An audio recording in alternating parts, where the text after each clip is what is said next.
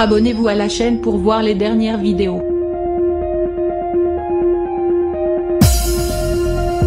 Une semaine après le décès de la reine Elisabeth II, emportée à l'âge de 96 ans. L'émotion est toujours aussi vive chez nos voisins d'outre-Manche. Il faut dire que le cercueil de la souveraine, qui a rendu son dernier souffle à Balmoral, en Écosse, vient tout juste d'arriver à Londres.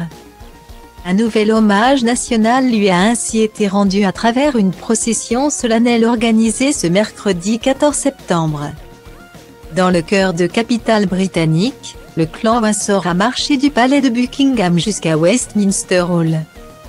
La plus vieille chambre du Parlement britannique. Un lieu où la veuve du Data Link People égale à 5 BC 3 E A 801 9 A 4 F 31 A 908 AC 77 CD 2 FBB 7 AC Prince Philippe reposera jusqu'à ses funérailles. Qui se dérouleront ce lundi 19 septembre.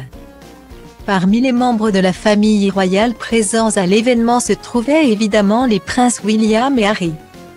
Accompagnés de Kate et Meghan, leurs épouses respectives. Des images qui ont fait chaud au cœur des fans de la royauté. Qui n'avaient pas vu les Fab Four ensemble depuis bien trop longtemps.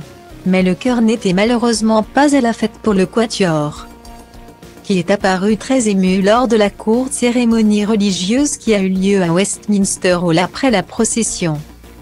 L'émotion était tellement palpable chez Kate Middleton, qui a toujours été très proche de la reine Elisabeth II.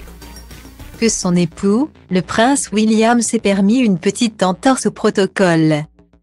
Alors que celui-ci interdit formellement tout contact physique entre les têtes couronnées lors d'événements officiels.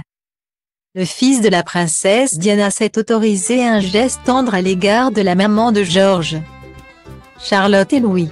De quoi redorer son image après l'affaire de la portière de voiture, il n'avait pas pris la peine d'ouvrir celle de son épouse alors que le prince Harry.